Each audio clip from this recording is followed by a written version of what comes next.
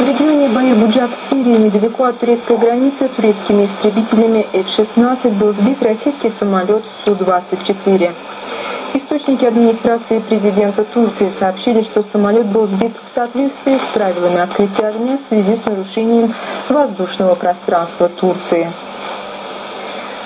Премьер-министр Турции Ахмед Давутоглу, который в прошлый вторник был уполномочен сформировать 64-е правительство Турции, на встрече с президентом Реджепом Таипом Эрдуаном представил состав нового правительства. Британская газета Financial Times написала, что Европейский Союз склонился перед президентом Турции Реджепом Таипом Эрдуаном в поиске решения миграционного кризиса.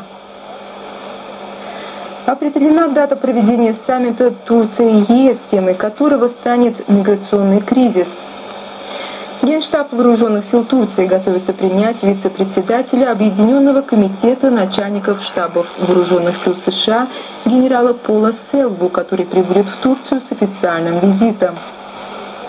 Президент Франции Франсуа Оланд вслед за серией терактов в Париже, которые унесли жизни 130 человек, предпринимает международные инициативы по борьбе с терроризмом.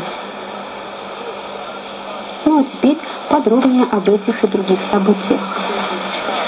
В регионе Баир-Буджак Сирии, недалеко от турецкой границы, турецкими истребителями F-16 был сбит российский самолет Су-24. Источники администрации президента Турции сообщили, что самолет был сбит в соответствии с правилами открытия огня в связи с нарушением воздушного пространства Турции.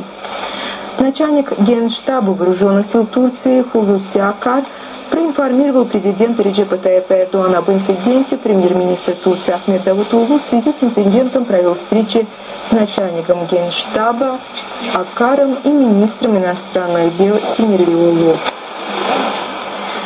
Пресс-служба аппарата премьер-министра сообщила, что Турции по указу премьер-министра предпримет необходимые шаги в рамках НАТО, ООН и в отношении стран, имеющих отношение к инциденту.